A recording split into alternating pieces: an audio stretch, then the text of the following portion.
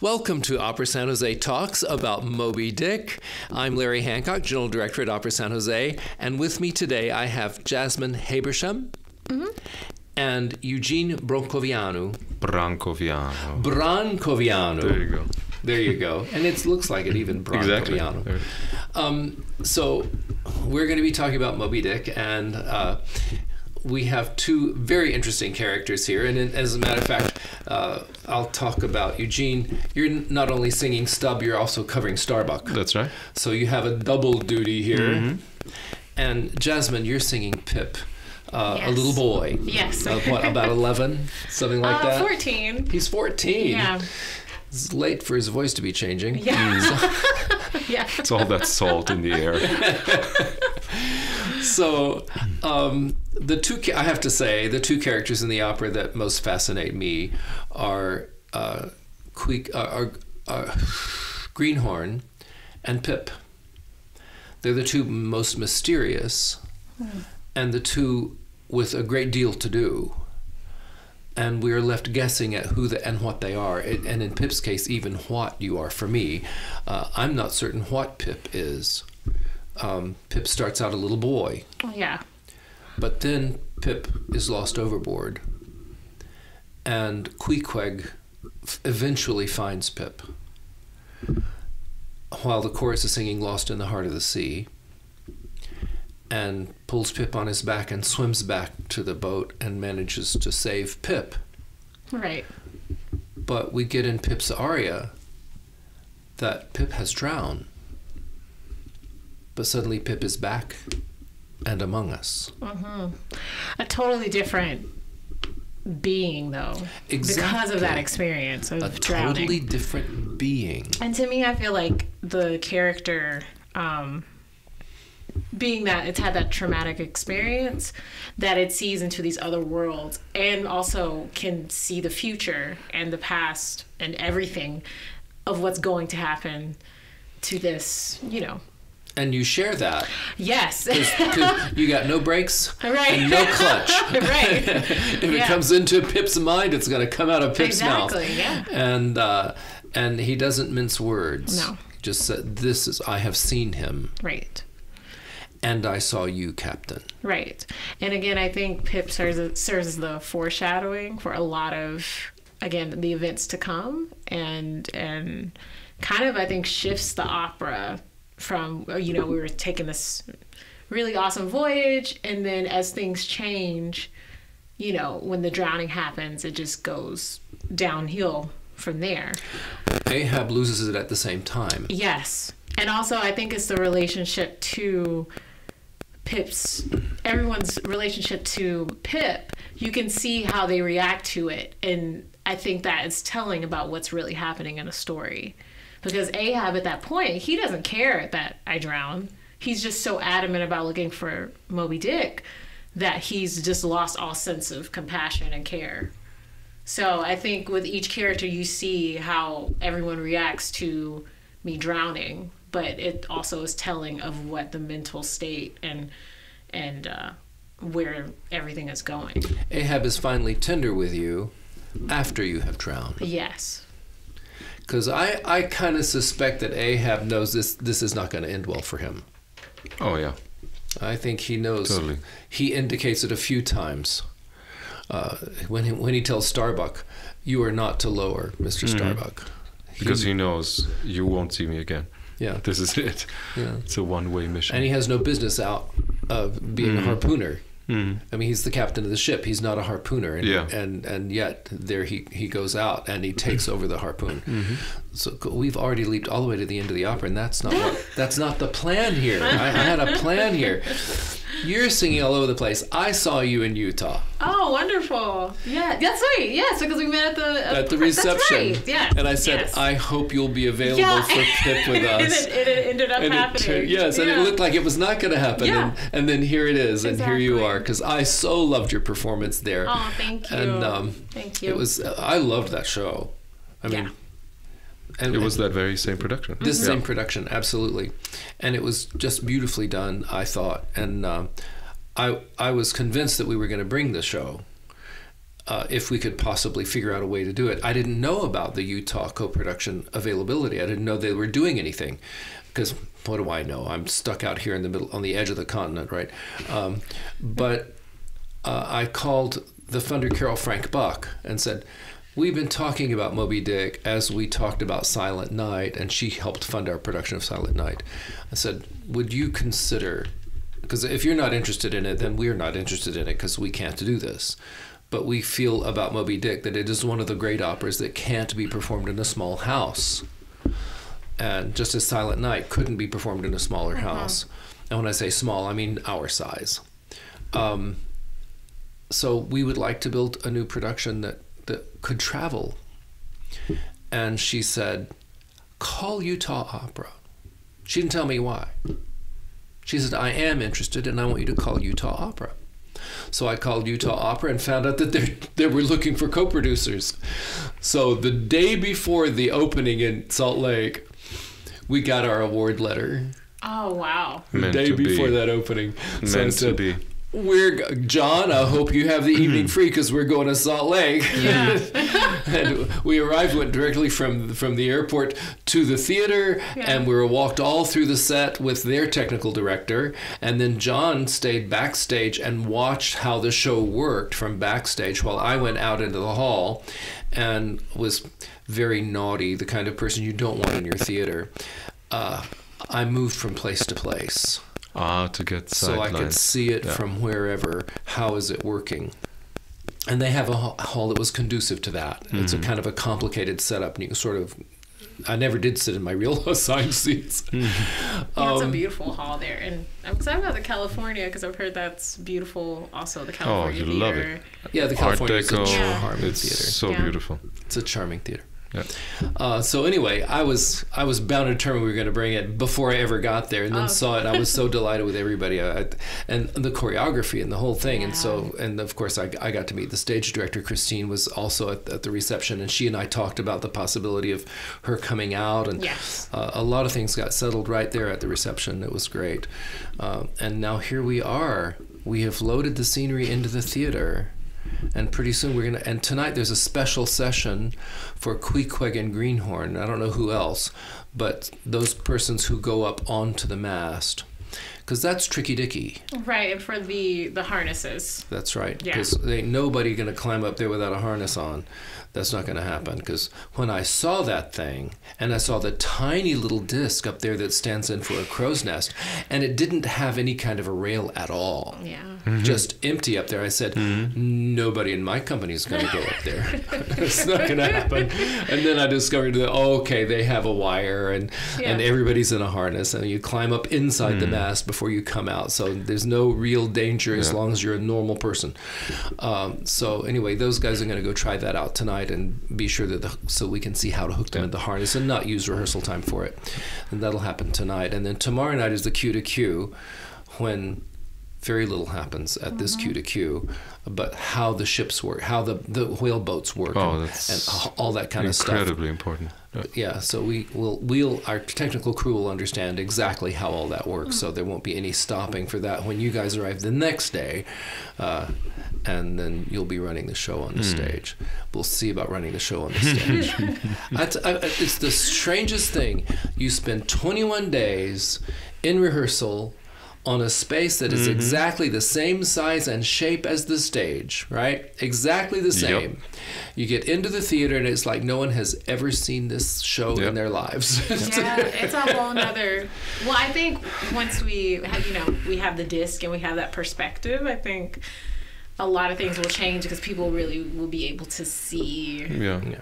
And also to work up high. that too. Because down here you're yeah. standing on a taped line. Yeah. But when we're there, you're going to be up high. Right. And also, we have these adventurous leaps that we take on and off. Yes. But we're going to be in this cocooned shell, right? Yes. Because there's this wall. So Yeah. it's not that far to go from the disc to be like No. a bug on the windscreen. Right. on yeah. the side and even though we have the disc, it's still different when we have the bow and, Mm-hmm. and how we walk up the stairs and like what we were used to doing. Yeah. So it's But yeah. it beats work. Doesn't yes. it? yes. it beats, it beats whaling. Yeah. Oh, is there anything uglier than whaling in the world? Oh gosh. Now that I've been, you know, kind of immersing myself in, in Yeah. this world, you could smell a whaling ship from five miles out to Jesus. sea. Oh, They reeked yeah. because all that boiling down of the blubber didn't happen on the deck. It happened below the deck in, a, in an enclosed space mm-hmm. where they have fires going and great big metal pots, so to speak, and boiling the blubber, and that fills the room with this aerosolized How could you fat. breathe and in there? you can't. You can't. And, you, and it gets all over you. It permeates your clothes, your hair. and Yeah, as yeah, soon yeah. as your shift is over, everybody would just bathe and bathe and wash, but you couldn't repair your clothes. And these self sacrificing Christian Quakers did not inform them the cost of they had clothes you could buy on ship. And they bankrupted those boys by never telling them how much the clothes cost. And they just kept changing shirts and And when they would get back, They had discovered that they they had they were they were they were had bankrupt. Wow. They owed Yeah. instead of making money on their trip, they owed money. So now now they're indentured to have to work on the next ship that goes out. So yeah, what would Jesus do? capitalism. right? It's all capitalism. So at any rate, I, I just can't imagine a worse life. And it was called hell. Okay, every t- every description about what goes on while the blubber is being rendered is called hell, and also the stripping, the flaying of the whale's carcass, and all all these things. It, it's uh, a hideous life, and and people who worked on it were uh, treated badly and spoken of ill because it was the bottom of the line in, in going to sea. The the guys working whale boats were the bottom, and the richest city in America was New Bedford, Connecticut. The richest city in America Because of whaling. because of whaling Wow. until finally somebody discovered that there was oil in the ground in Pennsylvania and knocked a great Right. hole in it because that was cheap. You got it out of the ground and you could ref- refine it and make kerosene lanterns. So suddenly, spermaceti candles, which were unconscionably expensive, were no longer necessary. You know what city was next in the richest cities in the country? San Francisco I was about to say, yeah. because in 1850 there was gold in the Mhm. Thar Hills, and and all of a sudden San Francisco became the richest city in America. wow. Both of those things went by the by the by, didn't they? Uh, but they, it was a big deal for a time, and the whaling industry was very rich because they spent very little money on getting the oil hmm and charged a great deal of money for the oil. So, once you have a kind of a lock on something that's necessary for everybody, you can make money. So, at any rate, I like Stubb. That sounds almost like um, I like big Stubb and I cannot lie. You- the way he said it. Yes, It's a Oh, great, it's a great role. Yeah, it's a great role. And uh, that day in rehearsal, when I saw the disc, and I and Kristine told me a little bit about the dance, and I said to her, "Well, I, can I futz around with it a little bit? Can I do some stuff?" I said, "Yeah, yeah, show me, show me, show me." So, uh, when I was 14, speaking of Pip, I did my very first uh, modern opera in Heidelberg, Germany. It was called Columbus, and we were taught this skip step by the Peruvian choreographer, which is you know right foot behind the left foot, and at the same time you skip. So it's ba bum ba bum ba bum ba bum ba bum ba bum. And if you look closely, do you know that when I go tough, fair, and bloody, add a boy Pip, and I start do this skip step, Yeah. that's that step that I've kept you ever learned as a since I've been 14-year-old. as I learned as a 14 year old because it totally makes sense. Because we learned it in the sailor scene in Columbus, the, the opera Columbus in 1992. So, and since then, whenever I can, when, whether it's Don Giovanni, um, you know, whatever I, I end up doing, I always try to sneak in a little bit of that step into that. And then also came the, the jump off of the disc with that little cartwheel in the air, which I thought surely she's not going to allow me to do it. And she said, yes, yes, yes, keep it, keep it, keep it, keep doing it. So, Yeah, this is a, it's an athletic show. I uh, mean, yeah, it's- It's Even it for Ahab. Yeah. Oh yeah. and His well this peg leg, well yeah. poor richard he's in there you know half of his body is cocooned into this harness, Massive into this thing. massive thing and uh, but the fact that the leg just so completely disappears behind the coat is very impressive you No, know? it's eerie. Yeah, and but you know because we talk about the physicality of it, you know most of the things that I sing is I'm either running on stage or carrying you off, or jumping off of things. And so two, uh, three days ago when I was singing Starbuck in the room run, all of a sudden I'm finding myself walking on and I stand and sing. And then I pick up the gun and I sing. And I thought, oh, this is this is So nice. This is so it's, it's 400 pages more music, but it's easier. It's actually easier. Yeah. Oh, doing both of these roles. Hmm. Uh, Starbuck to me is quite an astonishment. Somebody came up to me. We had a s uh, an event for the Friends of Opera. They had their annual Mm-hmm. big get together, and uh, they said, "Why aren't you advertising at Starbucks?" I said, because nobody at Starbucks has any inkling that it has to do with Moby Dick. But you know, maybe you need Seriously. to do like a pop up. Like, you could just go sing Starbucks aria randomly. and start- Give me the white whale double foam latte on the double. Do that. I've always that been kind of- tempted. I, I stole this from somebody else, but I've always, when they say, "And what name shall you?" use?" says, "Call me Ishmael." I've always wanted to say that at Starbucks. Nice. I've always wanted to say that. Oh, I'll do that next time I'll go. And I'll sing Ishmael. it. Call me with a pause. Ishmael. See what happens. And then and then unless they sing it back to me when it's it's ready, I'm not responding. Do you mean Ishmael? All those things. What a, I mean, what an ending!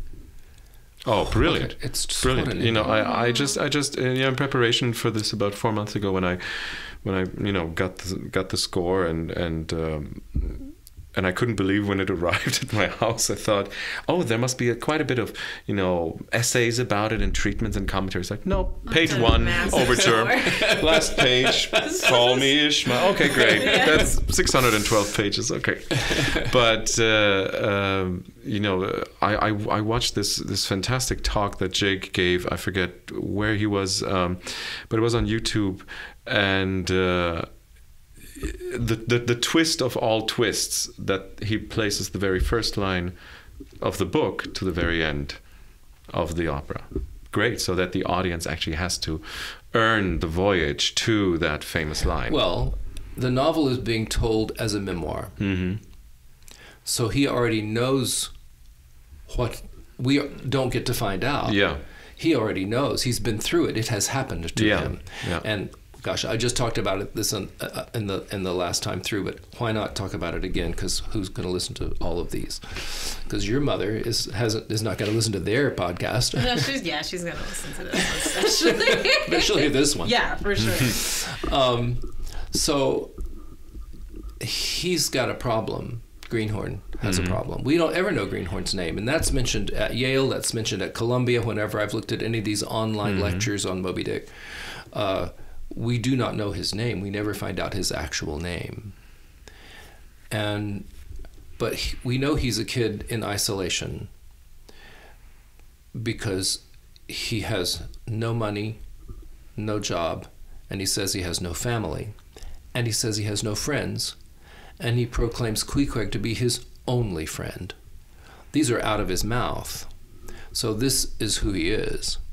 And when he says I'm when when was a a a, a cold and rainy November in my soul, I have to look that up because I misquote it all the time.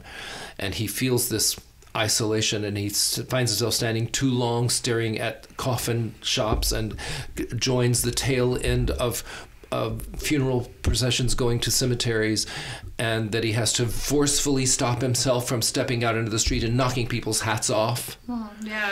he's and he says whenever this happens to me which gives us already a history right oh my this is this happens this way i set to sea so and now he's going to sea because he's already in this depressed oh my god state hmm. He's already frightened. Like cabin fever. He needs to get out. He's already frightened, mm-hmm. so he goes to sea.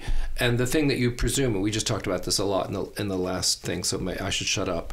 But the thing that one presumes he might find on a ship in a confined area is comradeship with all the other people on. But instead, he falls into a place where everyone is isolated. Pip is isolated. I, Stubb has a friend. Yeah, but I think he adapts to the populace in the sense uh, sooner or later every sailor experiences this this beautiful horizon that he looks at on day one and says, "Ah, freedom," and then sure sure enough, I read this in one of the uh, books about uh, sailors that I was reading up about. Is that once you're on when you're um, on sea too long, you feel like the horizon's getting shorter and shorter and shorter and shorter and shorter. And indeed, at some point, it feels like if you go any further, people go, people start telling themselves, "I'm going to fall off the edge of the earth because it's just I've been here too long." So Stubb, in a way, has learned over many many voyages Yeah, he's an old salt. Exactly to to keep everybody's spirit up, everybody's morale very high, and yeah, rules are rules, rules schmools, but let's let's let's keep it as humane as possible. So whereas he he really knows his stuff, he also knows when to let go and give it, you know. And he seems to be the only guy on board who knows how to take a pulse, because he's the only one who says his pulse is very weak, you know. Well, I'm I'm completely overwhelmed and fascinated by this thing, and I can see why in in modern times. Well, way back Mm-hmm.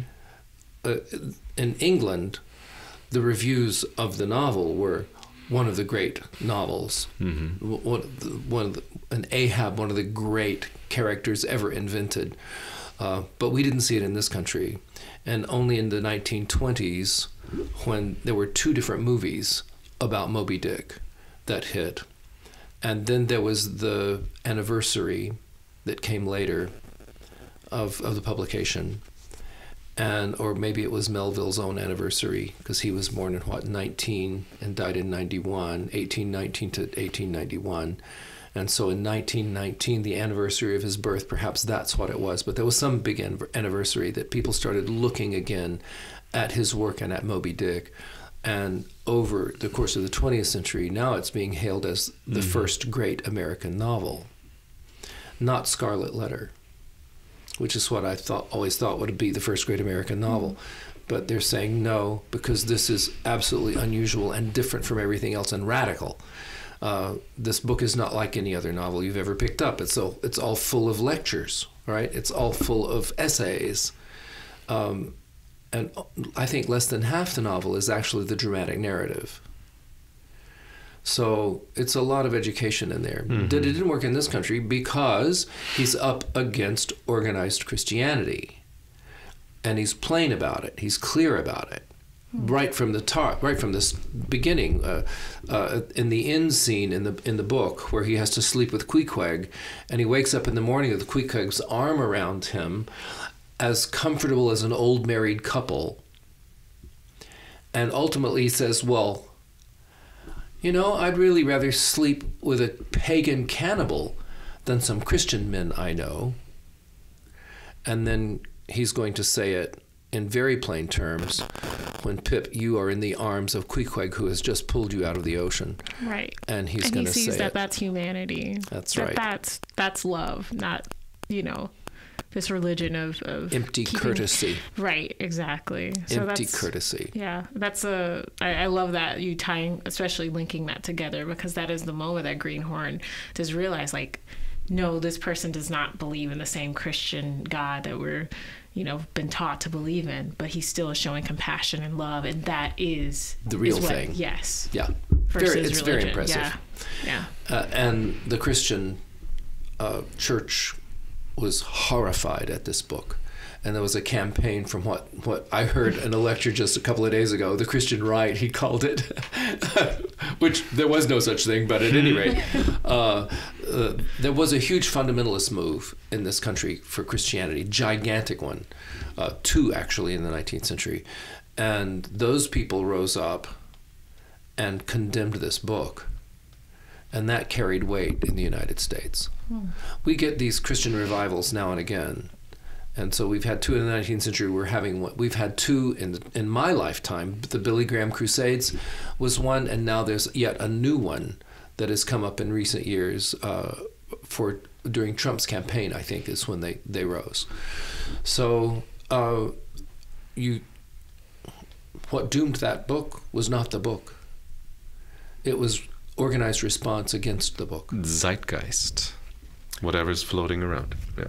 and you never know what that's going to be. You know, America is a very young country, Oh. and if you were to, if you were to go back to uh, not even the discovery of uh, the United the United States, which is interesting to call Columbus's journey a discovery when there were already people there, they just moved Yeah. in. Yeah. you know, you live here, okay, now we do too. Yeah. Um, but uh, so the country has only been a little more over 240 years old. So where where was uh, Europe in year this is funny. 240 in the Okay, middle of the beginning of the Dark Ages? I, I was I was just in Paris for the 350th anniversary of the founding of the Paris Opera. hmm the Opera House is 100 years older than the, the well, not the building, but the company. Yeah, the Yeah. company. The yeah. company is 100 years older than, than our nation. Mm-hmm. I was staying in a hotel a few years ago, also in Paris, Mm. and the guy was talking to me about America's great hegemony in the world and how it's, uh, he was talking about all this stuff. He says, you know, Julianne, you need to realize something. The service stair that, that I use to go quickly to my room is 200 years older than the country I live in. and he said, oh, there's something wrong with that. yeah. Yeah. But Yeah, we're fairly young. And, yeah, and- uh, we're babies. yeah. And considering uh, how we cut off the older civilization that was here altogether, didn't participate at all, and just started from scratch, Right. um, we're we're kids, and yes, and we the have, parents aren't home. and the parents aren't home. Well, it does feel like that recently, Yeah. doesn't it? Oh, like there, there, there are no, no grown-ups in Washington. Oh, please. God, well And at least I think also all of us we can agree that we're all immigrants in the sense Oh, that yeah. you know for Me for the second time in my life. First, coming from Romania into Germany, and then on account of me rolling my R's back then when I went and I couldn't go do the German oh, in the back. I was yeah. not very very popular back then. Really? Oh yeah. Oh, of, of course. I went to school. I started going to first grade uh, when in 1983, s- and we had some very old teachers there in their 60s. And if you do the math, some of these guys were around during the Nazi years, so they were not too happy about the foreign kids. And then when I when I came to uh, when I im- when I immigrated this country in 2002, back then riding the wave of Lerman's poem and all that, it was a very vastly different experience. Um, because all of a sudden, you know, I landed in New York. That's right. You have a Tony, don't you? That's right. and we were somehow made our way there. But uh, it was a very different experience because arriving as an as a, as a foreigner to this country in New York, all of a sudden, you know, 17 street corners and 55 languages are being spoken with 75 cultures just dancing with each other. It's, it's one of my favorite places in the world. San Francisco is very similar to that. Yes, it is. We are really. Uh, I, I have a goddaughter in Paris. That's Mm. why I always go to Paris. And she was she had a serious conversation with me uh, about how the European well the culture of France is under attack by all the immigrants coming in, so that the culture is being lost. And and she said, "Aren't you having this too? Because we're having a quote problem with people coming over our southern border." I said, "Well, except Julia, we don't have a culture." Mm-hmm. Right. And that that's it's, It's, so all ironic. adopted from. Yeah, we don't have a culture. It's just it's interesting because there also is like this conservative wave happening, not just in America, but also worldwide. Yeah, because like with the Brexit that happening, and then also The in morning- Brazil, there's things happening there that are just like Oh, and and, and every everywhere. It- it- Yeah. it- no, just it, from from from the Philippines to Turkey. Yeah. I mean, it's just everywhere. People Yeah. are looking for a strong man. People Fear are is scared. a Yeah. fear is a powerful motivator. yeah, people are scared. But in terms of culture, like you were saying, like it's amazing. You can go anywhere And I mean, there are places in America where you know we do have different cultures, of course, but it's like America doesn't really have its own like food. Mm-hmm. Like you know, like you can have like Cuban food or Mm. or Ethiopian or even like soul food, but that's Well, Oh, cheese but be careful about soul food, honey. Southern cooking and soul food you can get in the South. that is true. Yes, After that, that. Yes, after that, I you wouldn't say gotta- pure cheese, per cheese se. crust pizza was invented here, so yes. But I'm just saying, it's just I think America doesn't really have its own. You know, No. we have hamburgers, but that's not. oh, but even that's that named even- after a city in Germany. Right. Hamburger. It's not, we don't have our own authentic. No, because we're a melting pot. We just have everything. Yeah. And uh, I'm thinking about retiring in a few years. Not I haven't exactly set my date yet, but we're talking it through with the board and making a plan for my ultimate exit. And going, I'll be going back to the South, and not just to the South, but in a small town in the South. Right. And- Where you grew up, right? Well, actually, across. I was going to go where I grew Ah, up. okay. I changed my mind. I'm going to go to my university town Ah, instead. okay, I okay, think. okay. Yeah, I think that's going to happen. Um, but the thing I was going to miss is, gosh, within five blocks of my apartment, I have Korean, Chinese, Japanese, Indian, Italian, uh, Greek. It's just all around. Yeah. And uh, I have to learn how to cook. yeah. It's not until you get to cities where you can have those variety, different variety of things. Yeah. But I, yeah. Yep. But I totally understand. Yeah. Um, especially like being from Macon, Georgia. That has a Are you from Macon? yeah. My family came from Valdosta. Right. Okay. We were talking. Yeah. Okay. When we went into Florida. and then they On, the, on the rest of Hancock Panhandle. side, yes. On the Hancock side, they moved down from Valdosta, and on the Simpson side, from Cairo. Spelled C A I R O. Yes. Like the, Like the, the town in Egypt. of Yes. yes, but it's Cairo. There's also a Vienna. V I E N N A. There's a lot of Nice. European. Well, you know, well, uh, make it as Macon in Uh-huh. France. You've also got Augusta. Well, Augusta is that is that correlate with anyone? Well, Rome, Georgia. That's where I went to undergrad. Um, Shorter University, and then Athens. So there's all these like Oh. European. Little Deland, where I went to college, they called themselves the Athens of the South. Yeah. oh, interesting. because they had, they had the first school of higher learning uh, was built because Mr. S- Uh, what's his name Stetson, uh, who built who made the hats. He was really, really very, very wealthy. And he built a rather large house, a really rather large house uh, in Deland, and then endowed the little Deland Academy oh. with $18 million in 1880.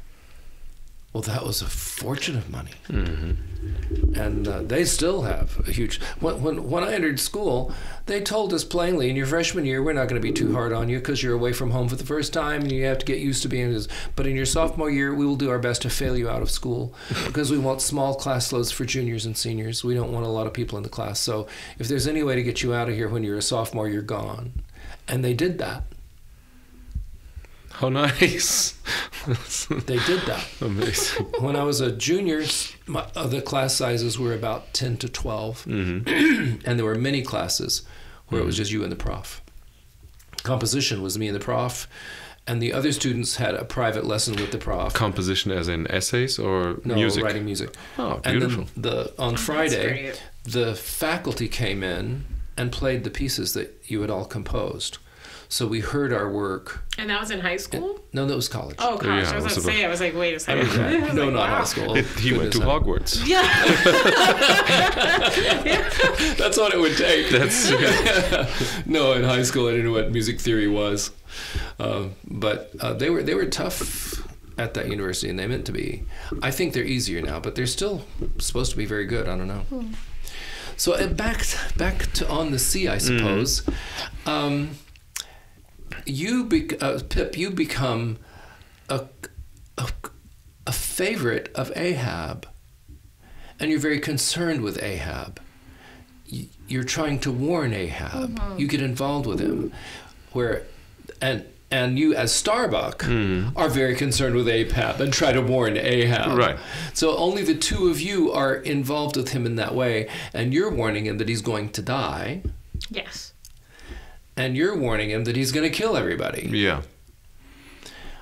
and Very- I have the one chance to avert it, and I don't take it.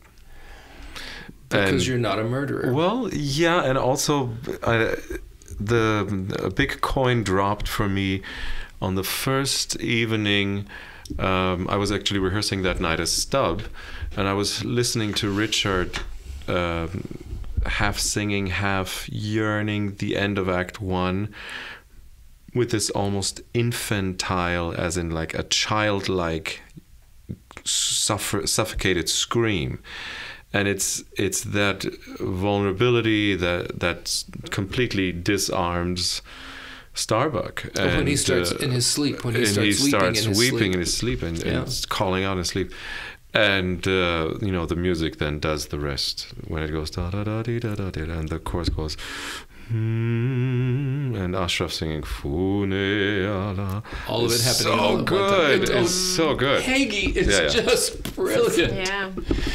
He's, he's the first composer composer to whom I ever wrote a fan letter. Oh, Oh yeah. wow! Well, his music's so it's so cinematic, and uh, well, especially in this opera, but it's just something very grounded that I feel with Jake Heggie's music. Where Yeah. he gets Accessible. the emotion. Yes, Accessible. it's extremely accessible. And if you get, let's say Oh, you he had pierces you. Yeah, and- Yeah. And, let's say you have fifteen hundred people in the theater.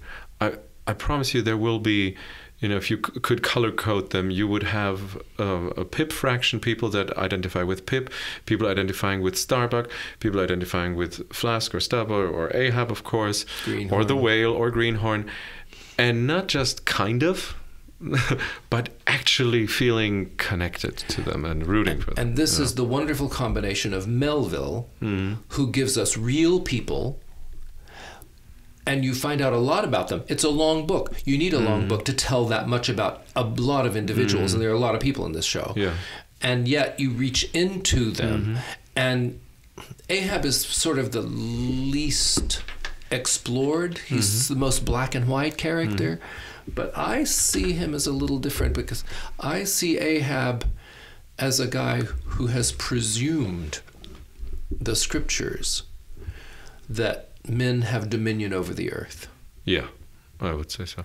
He he probably And was more like he- Greenhorn when he set out. He when he first so. started. When I was a boy Yeah. at, of Yeah, 18. He even says you know. so to Starbuck. hmm And but now he has had the big insult. hmm A brute animal has changed his life, has insulted him.